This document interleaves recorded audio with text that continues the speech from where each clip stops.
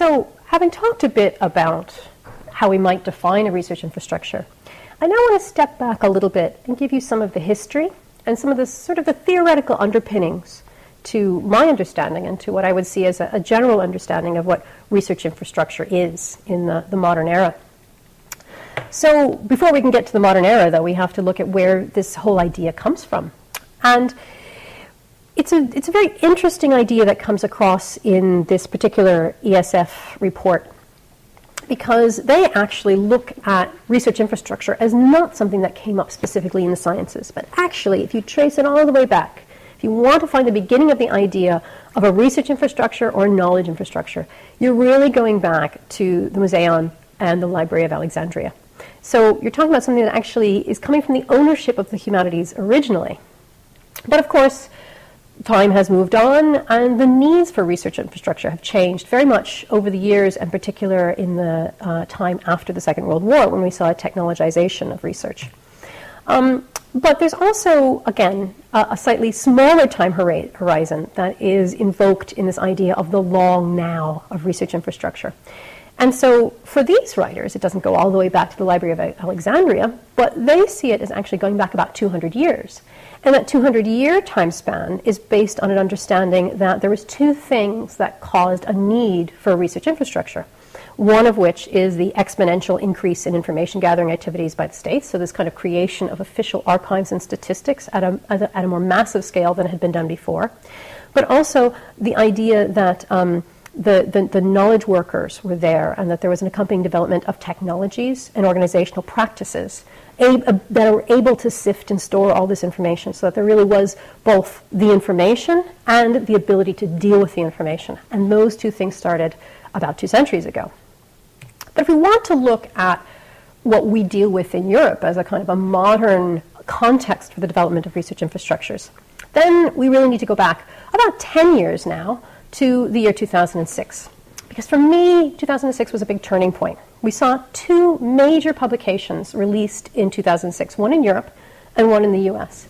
And those mark, I think, the beginning of our current understanding of research infrastructure. So in Europe, we had the publication of the ESFRI roadmap. Now, this roadmap was created at a European level to describe the scientific needs for research infrastructures for the next 10 to 20 years. And I should say that this has been updated and extended in its time horizon. Um, and what the European Commission wanted to do with this ESFRI roadmap, this European Strategy Forum on Research Infrastructures, is they wanted to say, well, research infrastructures are big, they're important, and they're best used as a shared resource. So to try and um, really bring that together at a, at a pan-European level and to coordinate investment was going to be, bring great value for researchers across Europe. So this was the, the European vision. And there were a number of uh, different entries onto this roadmap in 2006, including what we now know of as the Digital Arts and Humanities Research Infrastructure, or DARIAH, and also the Research Infrastructure for Linguistics, uh, and language resources, which is known as CLARIN. There was another entry on that roadmap at the time, which was a European Research Observatory in the humanities that was actually never realized, which is an interesting question to discuss afterwards if we so choose. But the other thing that happened, the other publication that appeared in 2006 was um, the, uh, the, the, report in the US called Our Cultural Commonwealth. Um, lead author of this was a man named John Unsworth. Now, this was itself a reaction to another report, which is commonly known as the Atkins Report. Now, the Atkins Report was looking at research infrastructure across all the disciplines, across all the sciences, across all the areas, whereas our Cultural Commonwealth was intended to actually bring out the specific needs of the arts and humanities, of, of the kind of the cultural side of resource, research. So that was something that uh, really kind of took the discourse out of that scientific mode and actually bedded it into what culture need. And what's really interesting about this, I find, is that if you look at some of the things that were actually going on in our cultural commonwealth, you'll see that many of the things that Unsworth was calling for at that time are things that we have yet to actually deliver on, that we have yet to actually achieve, but that we can ever more recognize as important for the delivery of research infrastructure. So he was calling for investment. He was calling for public and institutional policies to foster openness and access. Of course, We live in the age when open access and open research data are, are becoming ever more important, both to the funders but also to the scientists themselves. Um, to cultivate leadership, uh, to build human capital, I suppose would be another way to say it. Um, to encourage digital scholarship, I think that's something that has been happening incrementally, um, but also to establish national centers to support scholarship. Of course, this is something that you could really see those European research infrastructures is doing, and also to create extensive and reusable digital collections. And this is something we're still struggling with. So many of the things that this report, which no matter how old it is, is really still very much um, at, the, at the cusp of what research infrastructure needs to do for the humanities, um, have not been delivered yet. And they still provide us with a very good roadmap pointing forward. But of course, a series of actions doesn't necessarily give us what we need in order to actually be able to deliver. Uh, we also need some, some basic understanding. And I've already mentioned this particular quote the idea that um, a research infrastructure gets you below the level of the work. Because this is something that, from my point of view, you really need to understand that you're not creating a tool or something that's going to be time limited. It's something that actually is going to have a very broad uh, applicability and that will be very easy for many different kinds of scholars to use in their, um, in their work. Another thing that we need to bear in mind as we're taking this kind of theoretical approach to, well, okay, if we need to deliver on these various actions to create an infrastructure, what else do we need to be wary of? What do we need to be mindful of as we do that? Um, there's also the question well, what's the role of the digital library in all of this? And that's one thing that we're seeing. And I'll, I'll, I'll be speaking more about the relationship between um, research infrastructures as we know them in the, the European um, kind of research infrastructure context and the relationship to digital libraries, digital archives in one of the later sessions. But the thing to remember is that digital libraries are meant to do the same things that libraries do, only for digital objects. Whereas research infrastructures take much more of a, of a user driven, a methodological approach. And whereas these would have had lots of pressure to be drawn together in earlier phases of, of our kind of development as a research culture, now there's much less of that gravity to hold them together. So what's happening is for example, digital libraries are struggling to a certain extent to maintain what's produced by, by, by scholars. Um, if a scholar produces a website, if a scholar is producing um, EPUBs or anything like that, we're moving from that, um, that, that, kind of shells mentality to a RACs mentality, to the idea that there's a data side of things. In many institutions, we've seen a, a coming together of the digital library or even the library services and the IT support services. And that is a recognition of this, but it's by no means happening everywhere. Now, we also see that the digital library is struggling to a certain extent to um, enable new methodologies.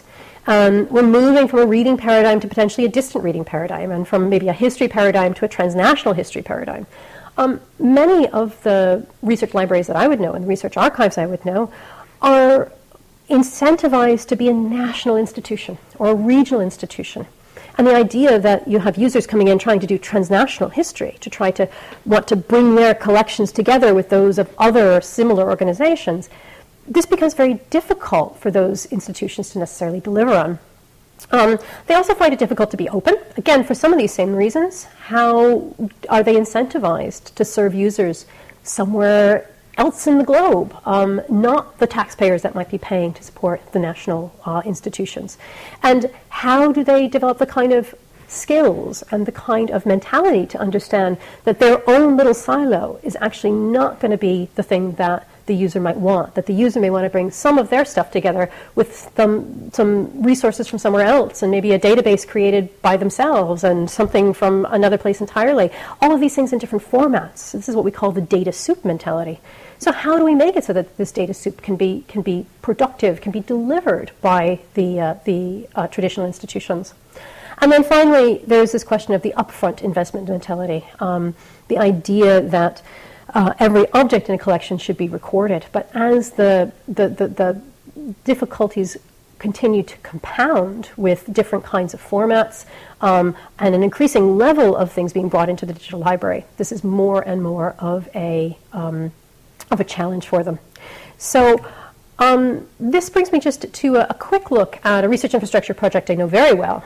Um, this is the um, actually the, the, the, data architecture of the CENDARI infrastructure. So it's the, collaborative European digital archival research infrastructure. And I just want to show this to you because I think in some ways the directions where the research infrastructure is moving are quite interesting. And we see this, a very similar kind of, um, of uh, architecture being proposed for the European Science Open Cloud, which is going to be a, a major resource for the sharing of research data. But what you notice when you look at this picture is that you have a number of um, ob- objects and things at the top, which are the presentation layer. And that presentation layer consists of the kinds of tools and environments where the researchers will use the, the, the, the assets or will manipulate them, interrogate them, curate them, do whatever they need to do to create knowledge. And then coming in from the bottom, we have the, the, the various data sources coming in. And in that that sort of set of, of acronyms, which I'm not going to break down for you because it would take far too long and perhaps not be very interesting, but there is an internal repository for data items. There is a triple store, which has these kind of linked data assets that are used to enhance the data that's there. There is input from a meta search engine developed specifically for medievalists. And then what you have in the middle, and this is the most important thing about this, is that brown line that goes all the way across, and that's the API. So essentially what you have is you have a very large number of data sources coming up from the bottom. You have a very large number of environments and tools you can use to work with those resources coming from the top. And then in the middle you have just one thin layer that makes it all possible. So it's kind of hourglass shape.